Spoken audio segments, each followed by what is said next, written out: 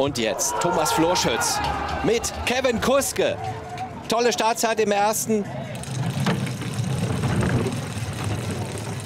5.03, das ist wieder gut, sogar eine Hundertstel besser als im ersten. Da war er durchaus nah dran an Hefti, allerdings nicht an Überraschungsmann Mel Badis. Der war mit einer 4.96 sogar Startrekord gelaufen. Bisher eine gute Fahrt. Er will angreifen. Er war der Beste in der Selektion der Deutschen. Deutlicher Vorsprung. Für ihn geht es nicht darum, diese Position zu halten. Vier Zehntel der Vorsprung. Das ist ein Angriff auf die vorderen Plätze. Ganz, ganz leichte Korrektur da in der Zufahrt auf die 10.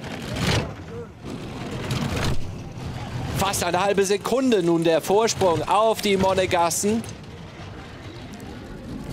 Und sogar noch ausgebaut im Ziel. 56 Hundertstel. Da ist er zufrieden. Das ist eine klasse Zeit. Das könnte vielleicht sogar die beste des Tages sein.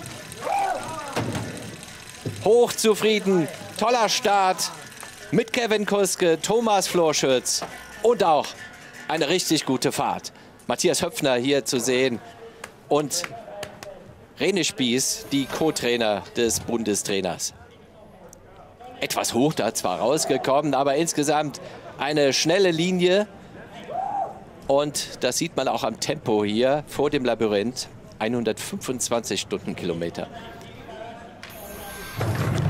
Ja, jetzt werden sie hoffen auf einen Platz noch auf dem Treppchen der drei Besten. Thomas Floschitz.